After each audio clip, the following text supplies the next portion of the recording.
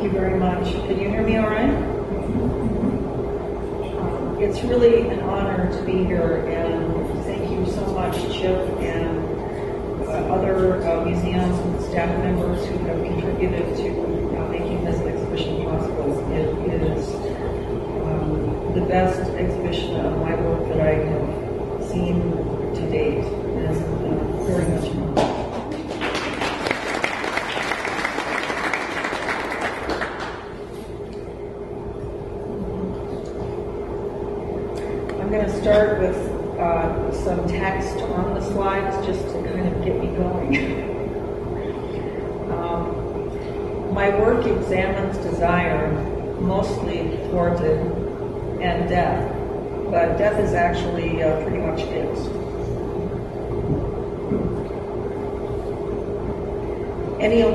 to are simply ruses which allow me to lead you back into some dark alley where I can speak to you candidly about our impending demise as individuals, as a culture, as a species. And I guess in going to Juarez, I, I met a landscape that looked like what goes on on the backside of my own brain. So I felt very much at home there. Just before meeting first uh, Charles Bowden, uh, I was involved in uh, creating a series of drawings about medical technology, which interested me uh, because it both constructs and threatens our sense of humanity. So I was minding my own business doing this series of drawings.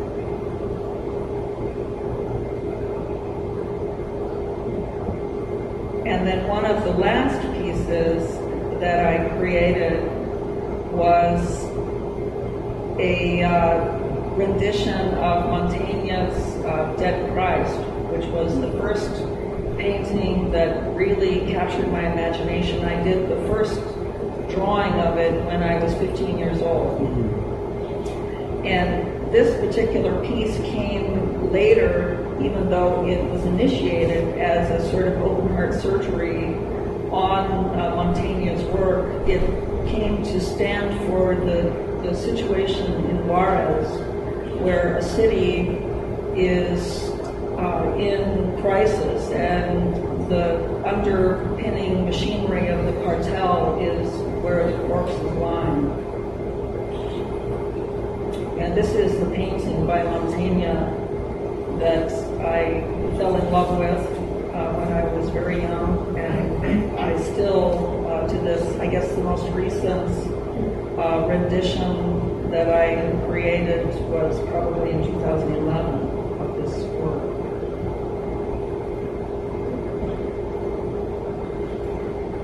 So, what could be more natural? Um, I'm I'm interested in systems, in things that turn in on themselves, and uh, this phrase actually came initially from an exhibition that my husband put together. He was a curator, uh, the chief curator at the University of Arizona at the time, and created an exhibition that was titled La Cadena que no se corta the Unbroken Chain, which was an exhibition about um, a, another, a very different uh, sort of take on uh, Mexican culture and Mexican American culture, uh, the sort of crafts and traditions that are passed from one generation to another. But I somehow managed to introduce death into that as well. This, by the way, is a rat that was supplied by Molly Malloy.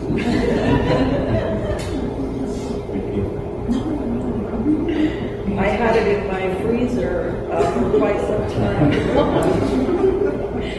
a Tupperware container, um, and it it began to, to chase its tail in the circular container. When I brought it out, that's how I drew it. I did a residency. I was very fortunate to go down to uh, La Union, New New Mexico, and uh, this is a residency. It's called Border Art Residency, which is about 30 minutes from the turnstile.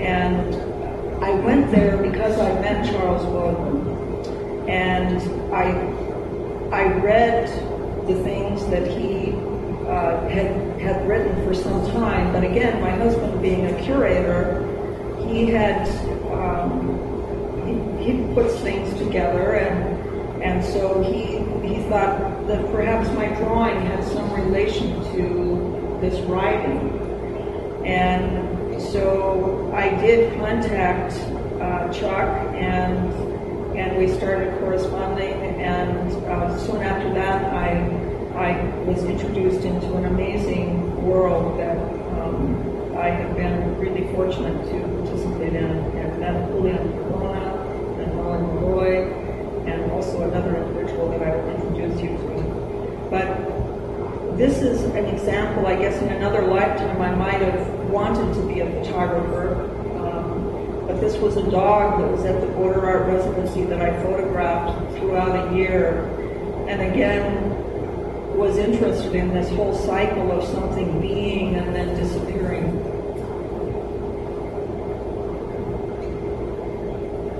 And I'm not going to present things in a chronological order. They're in some other um, order, like the uh, the way that I uh, conceive of things. And so this happened prior to the residency. I went with um, Charles Bowden to a uh, on a, a, day trip through the Buenos Aires um, Wildlife Refuge, and we went to a location that was a former outpost for the Minutemen, oh. and they had uh, bicycles there, just piles of bicycles, and I heard uh, this amazing story that uh, I think it was a story that Chuck told me that the um, uh, coyotes who would guide uh, illegal aliens uh, across the border would uh, at some point provide them with bicycles and they would make their way into Tucson, hopefully. And many of these people were arrested or the tires went flat or the bicycles were abandoned. And so the Minutemen, the self-styled guardians of the border would gather up these bicycles and then sell them at auctions.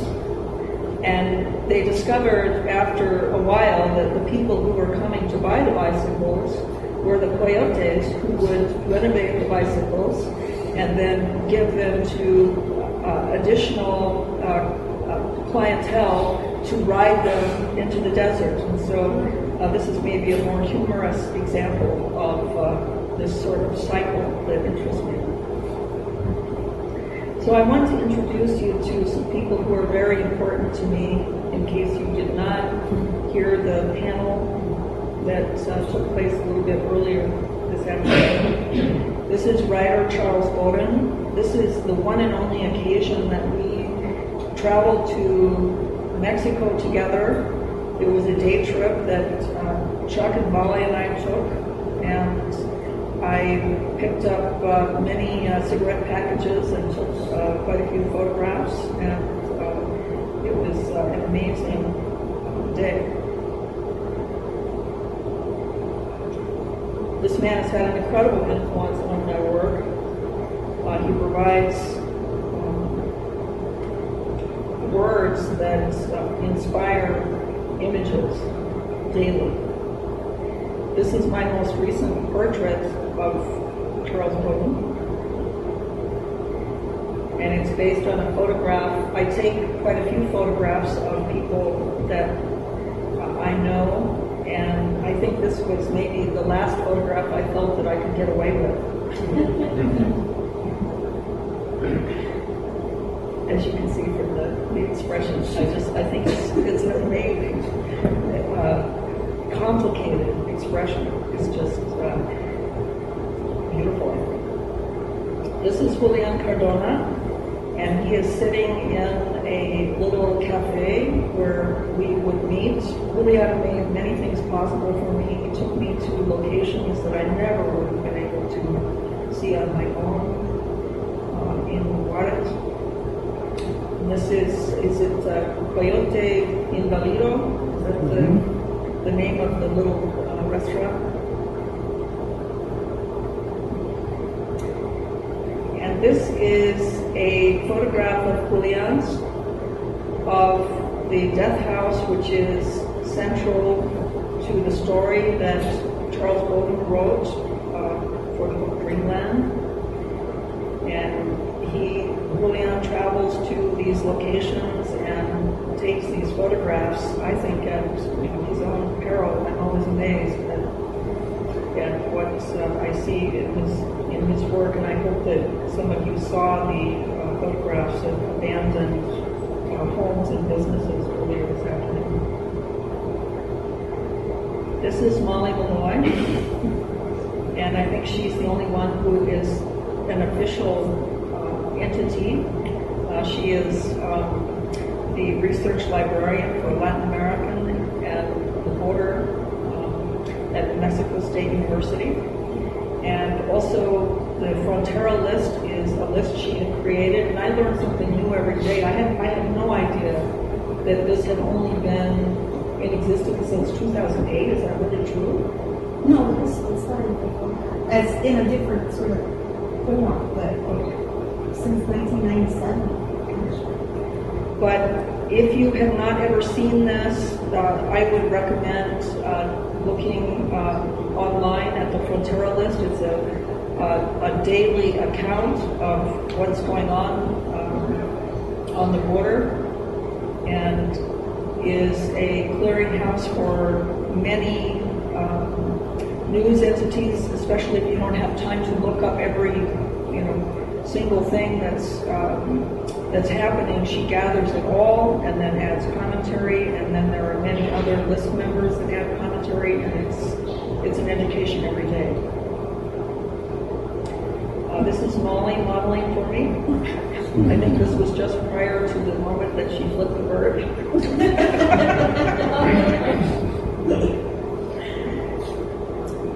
this is another individual who has been very important, and I wish that uh, he was here so that you could uh, meet him.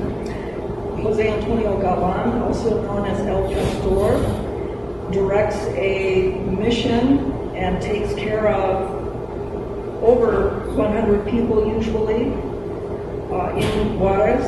It's uh, for mentally handicapped people who are whose lives have been pretty well shattered by drug use. And he also is a painter. And this is uh, a painting. I've, I've purchased several of his paintings, which I think are phenomenal.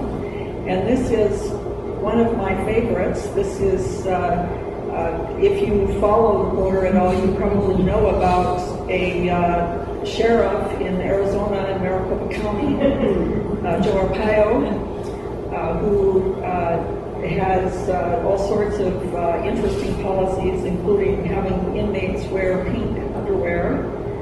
And this is Charles Bowden duking it out, I guess, with Arpaio. And I do love this painting, but uh, if anybody wants to buy it for about $5,000, I'll sell it. and I will uh, give the money to the shelter. This is Elvira, who is the cook at the shelter, and she is, uh, I don't know for sure if she's the owner. She's not. Okay. I, I asked them. Yeah. They said no. Yeah, there are many dogs around the shelter, and I, I think that they own themselves. I really don't think that anyone owns them. And there is a, a rather famous dog uh, named Peludo, and he looks friendly and harmless enough, but he actually goes around and gathers uh, uh, body parts in the neighborhood and brings them back to the shelter. And the police. Oh, yes, and to the police. So I just want to give you a little taste of what the uh, population is like. It's like any place, very complicated. There are some people who are in solitary. Perhaps they're dangerous to the rest of the population um, and uh, need to be isolated. sometimes uh, only while their um, medications are unavailable. Uh, some of them are, are in there for longer term. But there are also people who are just ecstatic to be alive. So this is one of the many places that Julian uh, introduced me to, um, the asylum and to uh, El Pastor, who subsequently has become uh, a good friend. And um, I hope you'll all, you know, uh, take a moment and just uh, send him your good thoughts. He's in the hospital recovering from uh, surgery. So this is William, and this is this is how I would see him often in profile, driving around the city.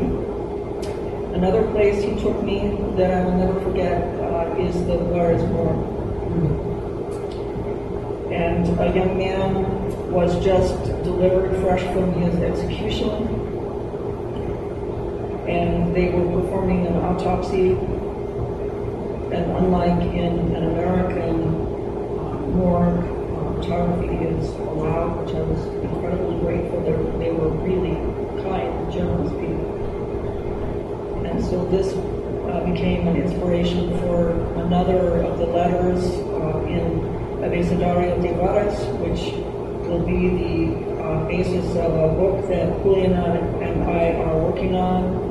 Um, and Julian has the hard part. He's writing uh, stories uh, about uh, individual people and their experiences and how they relate to particular uh, terms that are words that have been developed in Juarez um, to uh, words that have been invented to describe uh, particular kinds of violence.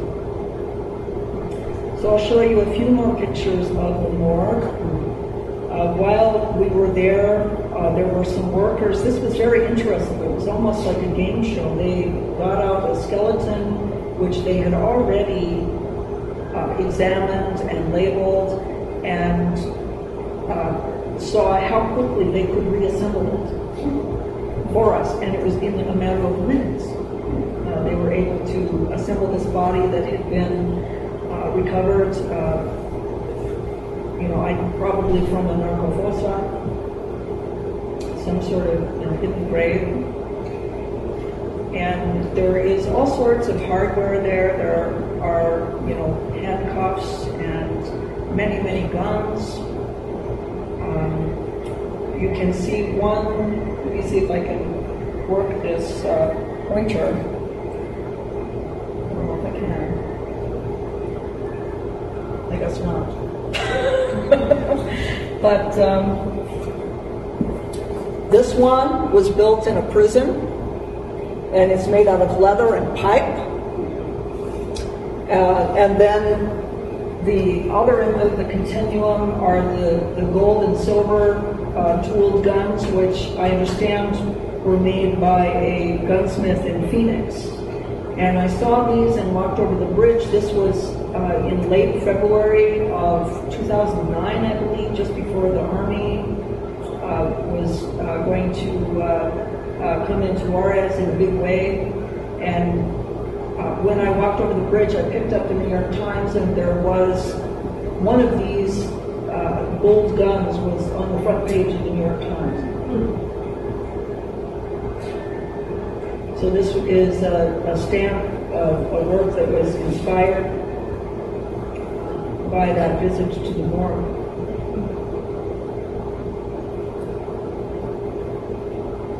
I believe it's owned by someone who's in the audience here. Thank you very much for your support. Darla Masterson. I want to show a couple of drawings. This is just a, a, a brief uh, introduction to something that's going to happen. And um, these are a couple of drawings that I did while I was on a Fulbright in Slovakia. And as you can see uh, in one of them, uh, Juarez was still very much on my mind. And I looked on Molly's listserv as usual and opened up a story. And there was a story about a man who ran over a little boy and, and then just drove off. And the, the implication was, you know, too bad. um, That, you know, nothing, uh, nothing would be done, he wouldn't be punished. Okay, so I want to give you a little bit of a taste of Dreamland. And this is a book that uh, uh, Charles Bowden wrote again. And then I made images, but some of the images I made for this book I actually made before I ever met uh, Bowden. And he extended the courtesy of just letting me respond to his writing however I needed to. And so I thought that was a good thing to pass on, and so I did the same thing and passed it to a graphic designer and just said, cut up my drawings, reassemble them, whatever you want to do. Um, uh, whatever will make um, the book uh, interesting. Do it. So I'm going to read you some excerpts from the book and how I managed to match them up, um, which I would just page through the manuscript and try to find something that looked like uh, the drawing. Two things stunned me how much I once believed and how much, despite the storm in the skies and the blood on the ground, that I still continue to believe. One city is called El Paso, the other Juarez. One state is called Texas, the other Chihuahua. One nation is called the United States, the other Mexico. I find it harder and harder to use these names because they imply order and boundaries and both are breaking down. I'm drifting into a different way of seeing things. I want to say this. I think the death house is how government works on the line. The death house is remarkable only in that it became known. Few will agree with me except for the dead. And they are gagged and kept out of sight by various headings. Illegal immigration, illegal drugs, national security. The list keeps growing, as do the dead. The workers of the death house would meet at Los Arcos to eat and drink and plan their next job. Tasks described as carne asadas, roughly meaning grilled meats or barbecues. It is a nice place to resolve the humdrum details of kidnapping, torture, murder, and burial. The various agents involved, the various individuals, well, they're all about their own careers, about advancement and success in life. The dead are incidental to making federal cases, or to moving loads of merchandise, or to getting a little extra spending money for helping out at an execution.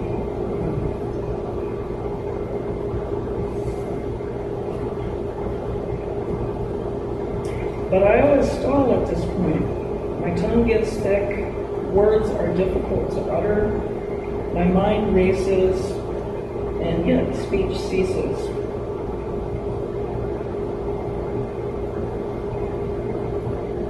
Hardly anyone knows exactly what is happening, but everyone understands what's happening. A person commits an error, gets picked up, and is never seen again.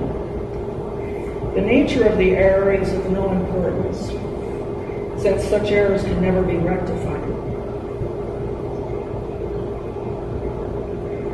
An agency on this side knows of the murders and does nothing. An agency on this side employs the killer and does nothing. An agency on the other side does the murders. A business that flourishes on both sides insists on the murders. Would that be the directory?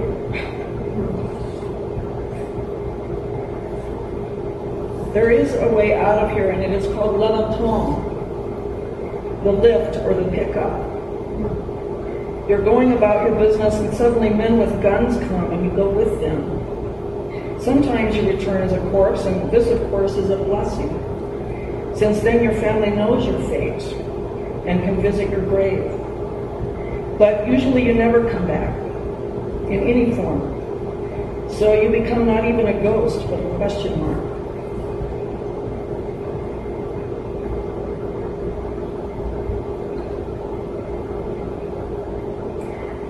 The appear in the newspapers, then are not mentioned again.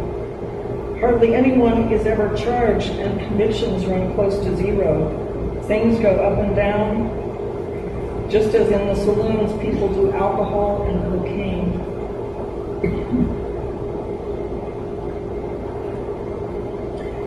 The city thinks of itself as a bustling place with foreign owned factories where over 200,000 people toil. The noise of all this work is so great that no one ever hears the screams, the gunshots, the knives sliding into flesh. Instead, everyone says the city is about producing objects for export. Car parts, vacuum cleaners, things like that.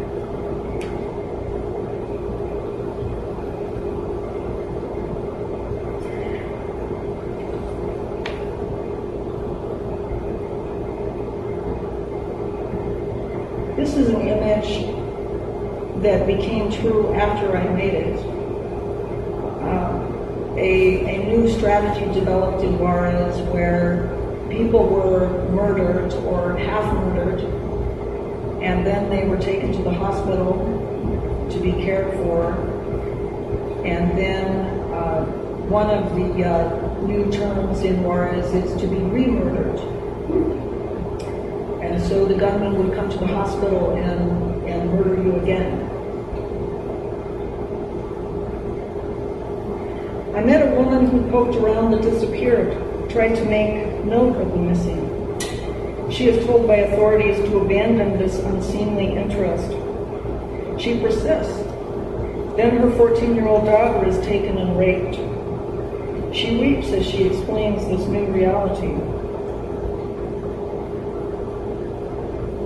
When the bodies were disinterred from the death house and, and taken to the morgue, the people simply showed up and formed long lines. They came from various parts of Mexico and distant U.S. cities. They stood in line for at least six days. I believe Julian was there photographing them. Photographers found the people in the lines did not want to have their pictures taken. They had come to claim their dead, but they did not wish their names or stories to be known. And this is somebody that you're already acquainted with if you uh, were here earlier in Somali's presentation. El Cholito. Two bullets tear through his body one afternoon in Colonia Rancho La Macra as he exits this world at the corner of Moonfish and Hippocampal streets. Julie and I actually went and tried to find this location. There is no such intersection. He's about 20 and known as El Cholito, the little hoodlum. He belongs to the Wonderlook gang in Juarez. He dies near the wall that attempts to lock one nation out of another.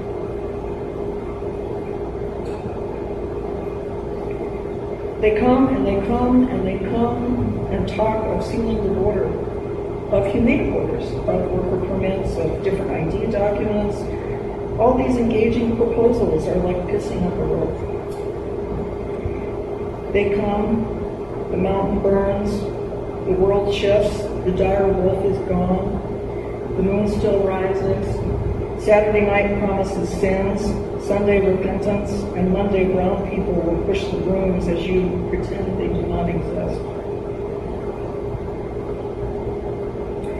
Then they buckle and writhe on the ground and eat dirt and act as if they are swimming. This is the last phase before all movement ceases.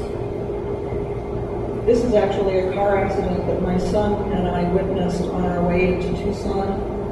There was a van of illegals. I think there were um, something like 14 people stuffed into a van, and a tire blew because they don't want to spend a lot of money on, on tires. And uh, I think as many cars were involved in the accident. We were stuck outside of Tucson on the freeway for about three hours waiting for them to clear the road. And miraculously, in this instance, no one was killed. That's usually not the case.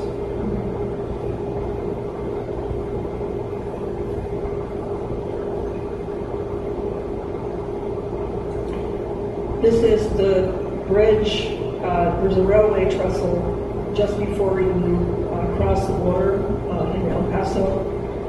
And when Molly and I would travel together to Juarez, we would generally go by this railway trestle. So silhouette became relevant to me.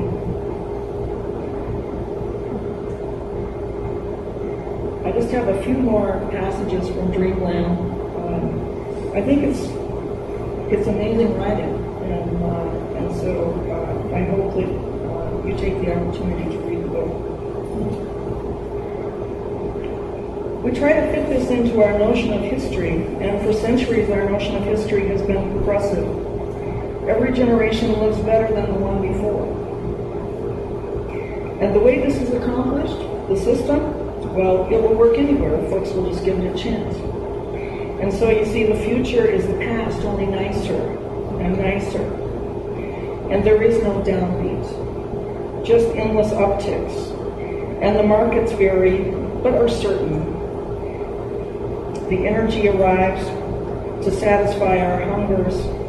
The food is bountiful. The women go to surgeons and come out the right size. And the poor will vanish. We have a plan and war will vanish, we have the right on our side. And drugs will vanish. We will live with a material bliss. And ignorance will vanish, and violence will vanish, and the sea will cough up its fishes and loaves. We have the faith. And we'll keep the faith. And so there's nothing to worry about. And anything we worry about is really temporary because something will turn up and fix it. Pretty good, huh? Uh, these are uh, a few people that tolerate me, along with uh, Molly, Julian, Chuck. Take photographs of them, and sometimes it takes a longer time, sometimes it's rather immediate, but, but they all show up uh, in my drawings. And this is my son who uh, actually played, he's in theater, he played a part of a character named Johnny Chino, uh, who did a drug deal, and so he was really in the mood for this one.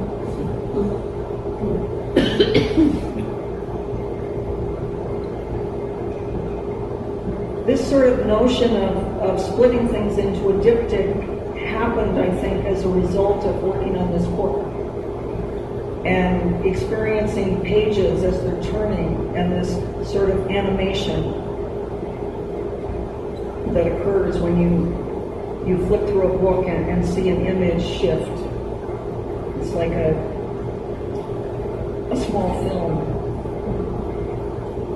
This is the person who probably has influenced me the most. This is my father. And he's now 92 years old. Uh, he is a luthier. Uh, he makes uh, violins, violas, and cellos, and repairs them, restrings, bows. He's slowed down a lot recently because he, he had a, a brush with uh, death about a year and a half ago, but, but he hobbles along and works a few hours a day uh, whenever he can. This is one of his completed instruments. Um, for me, he's been um, an inspiration uh, because of how he's lived his life. He started out in music, World War II came, and when he returned from the war, he had a son, and so then uh, went back to school and became a chemical engineer and worked in nuclear research for much of his life. But when he was 60 years old, he walked out on the job. and he began to make instruments and play in quartets, and uh, and has a, another you know whole life.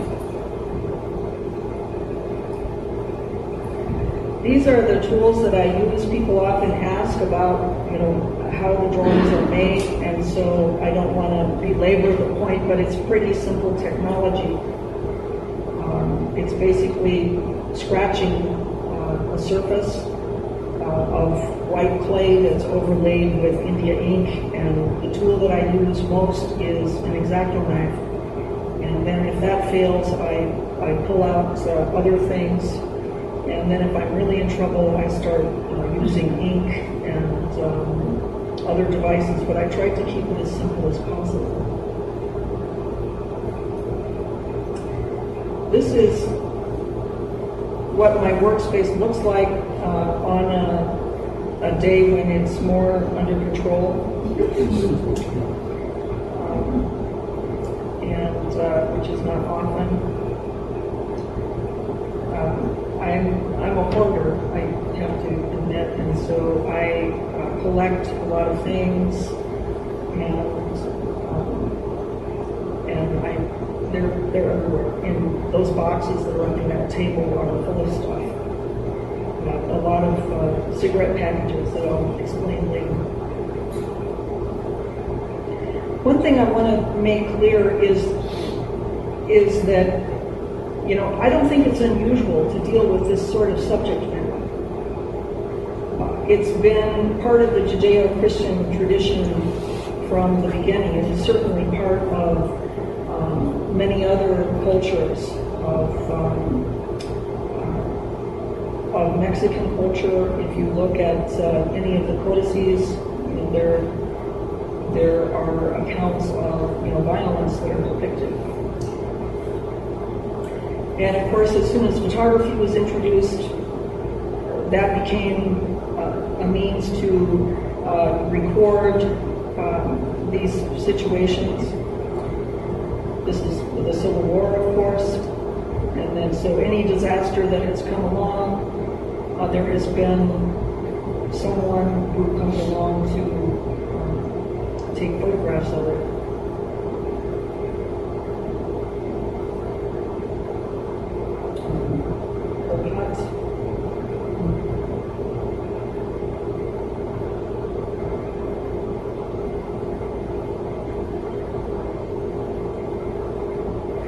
I saw um, I think, uh, early on. My husband has a PhD in pre-Columbian art, and so I looked at uh, some of the books that he has in his library and ended up you never know how these things are going to you know come into your uh, brain and, and how they're how they might exit and in this case it uh, became a sort of cross between uh, a tzompantli and a carnival game uh, this is representative of the 12 people who were killed in the death house in uh, that is described in the book Dreamland and so I decided to uh, uh, provide uh, a skull for each one of those. And then the last one that has not decomposed fully was a man who, as I understand it, was killed as a case of mistaken identity. Just was in the wrong place at the wrong time and ended up buried in the backyard. what happens in, in photography uh, in, in the United States and, and maybe in other places where um, where people aren't worried about real violence, they, they invent it. But in Juarez, it's there on the street. And these photographs were provided, uh, Julian uh, contacted a reporter uh, who worked at El Diario, and he sent me a few high resolution photographs of some events that took place in 2008 when I was living down in. Just horrific. I mean, can you imagine walking out into the street and seeing something like this?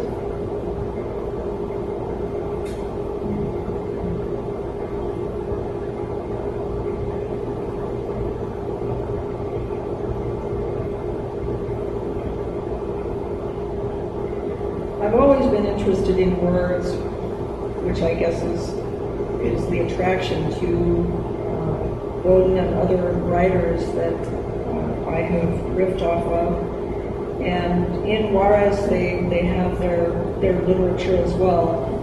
And this is one of a, a, a very early example, I guess, of a narcomanta. Uh, or would this be, a, I don't know if this would be officially a narcomanta. No, this is the, the, the very, very beginning Yes. when the violence exploded. They this was a, a Molina Mhm. poster in front of the police uh, statue, Yeah, they police monument. Yes. Uh, but later, uh, you can see how quickly things evolve and these forms of display. And I don't pretend to understand, you know, what's going on with these messages or who they're addressed to. I think, you know, I don't know if it's just a form of intimidation for the general public, but sometimes I get the feeling that they're addressed also to uh, specific individuals that uh, they want to make it clear that if they invade their territory, they'll retaliate.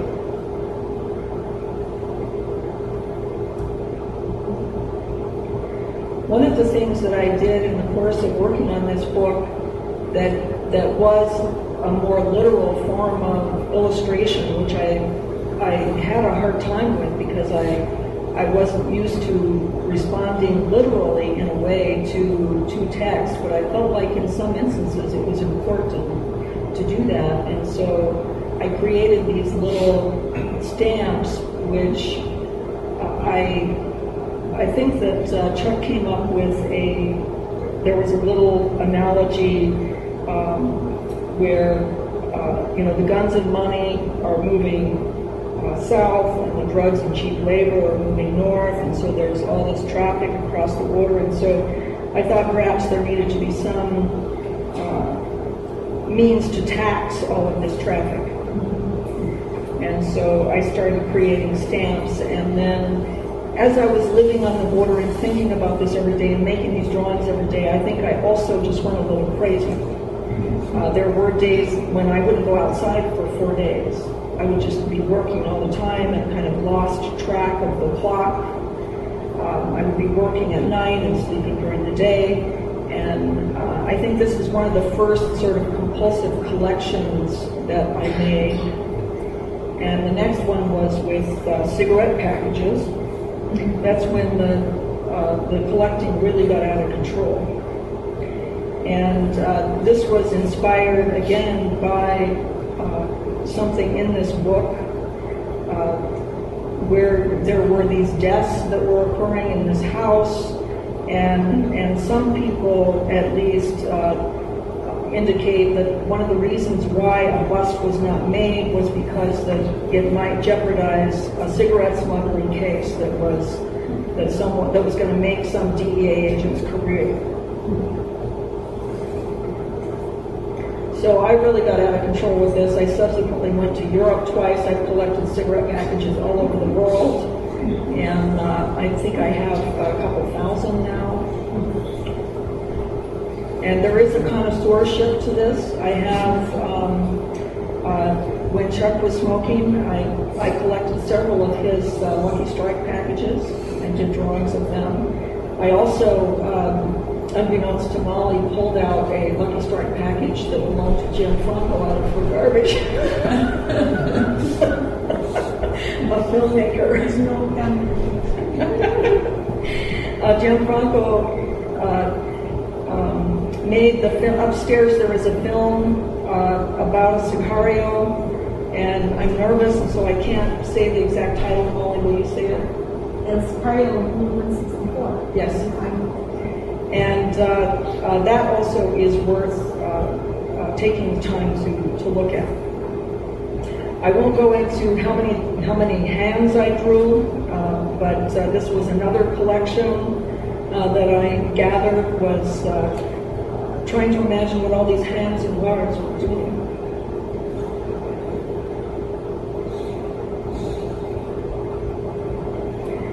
I've made untold numbers of portraits of Charles Bowden, and I have no explanation for this, except that I hear his voice when I'm working, um, and and so uh, it seems only natural to make images of the speaker.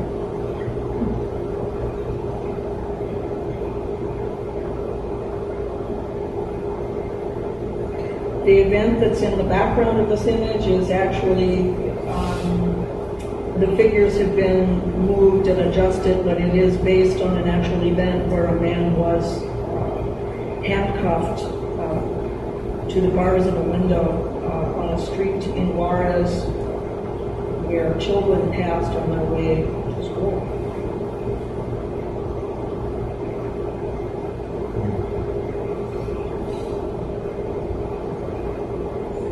This one was completed for the book, but I since have revised it.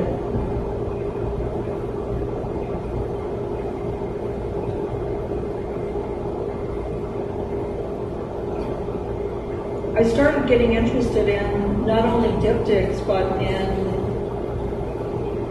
in additional complication.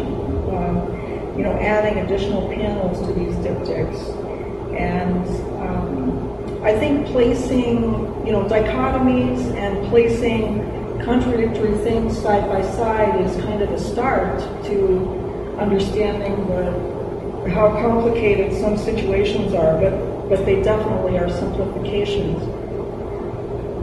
And so I started to introduce uh, additional panels to try to examine things a little bit more. And this is one of the works upstairs. These panels are not visible because they are the outer doors of a an altar Pasioneros, which is an altar for this house where these people were murdered and killed in Juarez. One of many houses, by the way. It's not a unique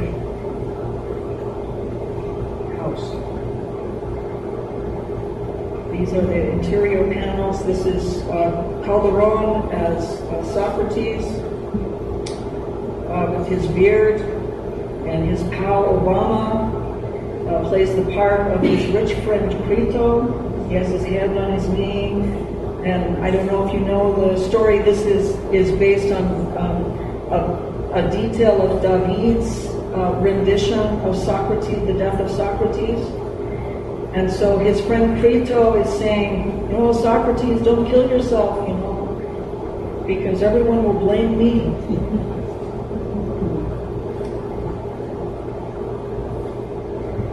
This is a Abecedario de Juarez, where I've uh, increased the number of panels significantly from two.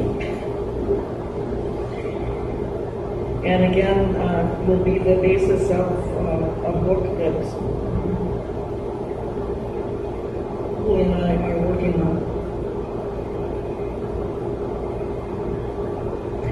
You know, once you once you have a, a, sort of notion about something, it's not like I set out to do something and say, you know, well, I'm going to beat this idea of diptychs to death. It's it's just that you find yourself doing it and um, and in different ways and.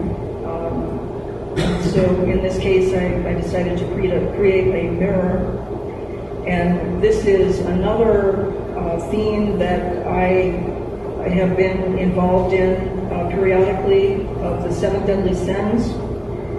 Uh, this, of course, is Gula or um. In the background here, you see a man digging.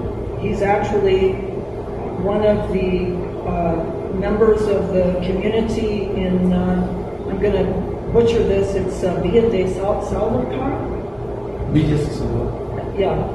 And um, he's uh, building a library uh, in this uh, neighborhood. I think there were you know, 15 young people who were killed. I don't know if anybody still knows the full story of why, but it gives you an idea, uh, you know, what happened in this neighborhood gives you an idea of how resilient and amazing some of the people in Juarez are. And so they decided rather than uh, to think about these children they had lost, that they would think about the children that were still with them. And so they decided to build a library and community center in one of the abandoned houses in the neighborhood. This is clavo, one of the uh, terms uh, for uh, the uh, book that will come out of uh, Abecedario de Juarez. And clavo is something hidden, you know, in this case. Um, this is what happens to you after a while, I think, when you start thinking about Juarez. You look through that lens at everything. And so I had a pair of shoes, and I noticed at some point that there was this little compartment in the shoe. And I thought, oh my God, did somebody smuggle something in there? And uh, I was, I'm so out of touch with what's going on. I had no idea that this was actually a little compartment that's designed for a pedometer for athletes. You know, I thought for sure that it was it was you know, some sort of uh, tool for smuggling, and I somehow had uh, purchased a pair of shoes that had been used for that. So I decided I had to you know tell this joke on myself. Uh, Levantado, and then uh, the uh, revised, which I think in some ways I like the earlier version of uh, limpieza social. Whereas really, I mean, uh, Calderon really did uh, call citizens of Juarez uh, cockroaches. An amazing president. This is for Albuquerque. I guess a little um, nod to uh, Breaking Bad.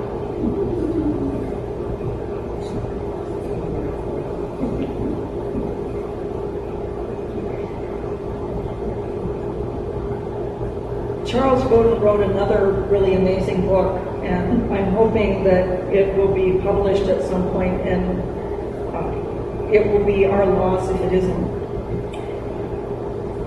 And I've started to make images in response to this, and this is a quote uh, from the book that is in the banner. Uh, those are his words. And this is actually something that I encountered on US Route 71 uh, heading north um, from New Orleans. An opossum uh, female that had been killed just minutes um, before my husband and I arrived, and the babies were still alive and still nursing. It was horrible.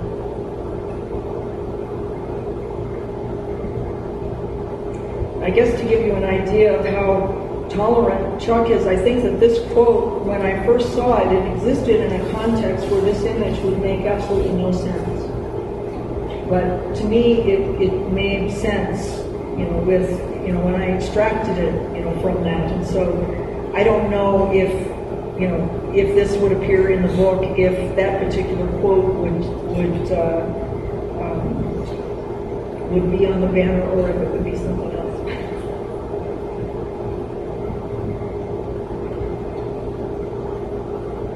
And this also is uh, related to this manuscript, which is titled Rhapsody.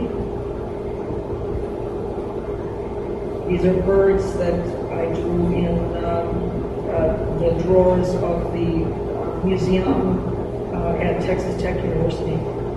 Some of the uh, specimens uh, date back to the 1800s. They're actually in better shape than the new ones because they uh, they used uh, preservatives that are incredibly toxic.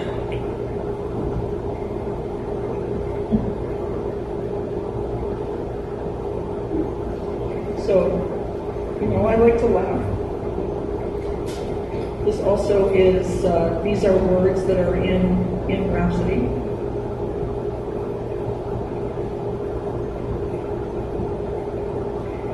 I started a. I just have a few of these because I think this is, this is going on a bit too long, but, uh, these are some woodcuts, uh, that I started. I started making woodcuts in 2010 and then more or less abandoned them, uh, because I had to go to Europe and couldn't take big uh, chunks of wood with me. And this is the very first one. Uh, this is a, a quote uh, from Cormac McCarthy from Suttree. I don't know if you can see the text because part of it is kind of buried in the face uh, in the top. Um, and I'm trying to. You know, a curtain is rising on the Western world. A fine rain of soot, dead bones, and anonymous I can't even read it. I hope you guys can. Um, oh, okay. Well, okay. I'm gonna just move on.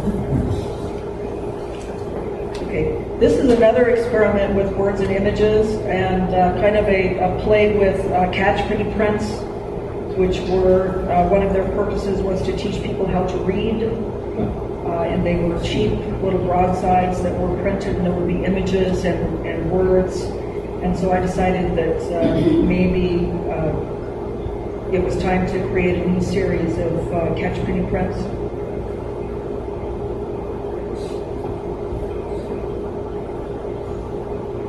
This is a partially cut um, block that again was started in 2010 and then not completed until about last month.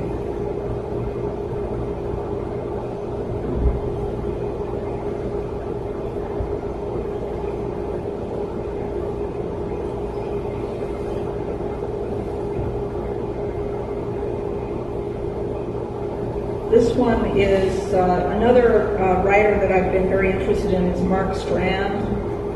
And there is a poem of his, this one I actually did write down because I knew it would be impossible for you to see.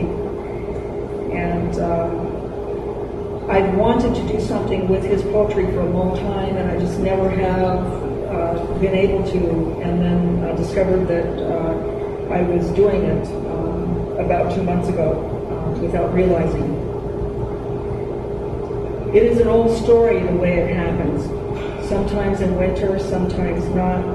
The listener falls to sleep, the doors to the closets of his unhappiness open, and into his room the misfortunes come. Death by daybreak, death by nightfall, their wooden wings bruising the air. Their shadows, the spilled milk the world cries over. There is a need for surprise endings. The green field where cows burn like newsprint, where the farmer sits and stares, where nothing, when it happens, is never terrible enough. And this is the matrix for the woodcut that I just finished, which is up in the gallery.